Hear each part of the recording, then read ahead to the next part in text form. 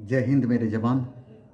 जहाँ तक सर्वोच्च न्यायालय की बात है तो भारत के संविधान में इस बात का उल्लेख किया गया है, देश के लिए एक सर्वोच्च न्यायालय होगा।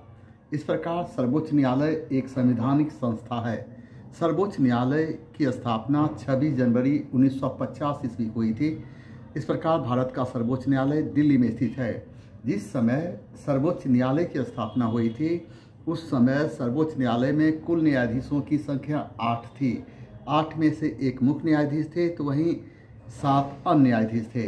वर्तमान समय में सर्वोच्च न्यायालय में कुल न्यायाधीशों की संख्या चौंतीस है।